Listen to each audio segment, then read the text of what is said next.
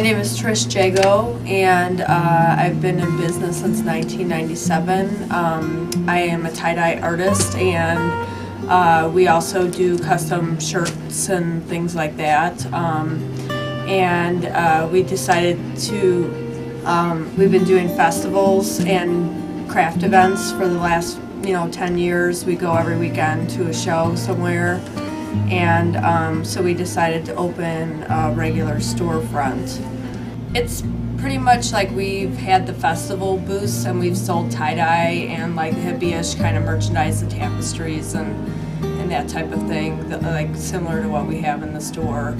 Um, some of the festivals that we do are handcrafted craft shows, uh, so we're only allowed to sell our handcrafted merchandise and there we only sell the tie-dye. Um, but I have been making tie-dyes and selling them at festivals since 97.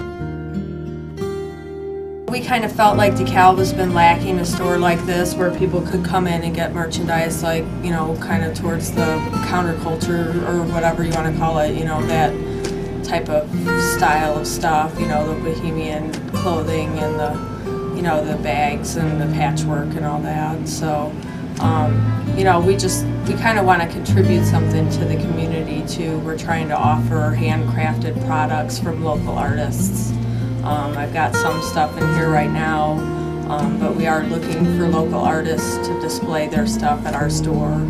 So we've been open since the beginning of October and things have been going good so far. We're hoping to, you know, get some more kids coming through here and maybe um, get some people that are interested in making tie-dyes here with us or coming in and making their own stuff or we do custom combination colors and stuff like that.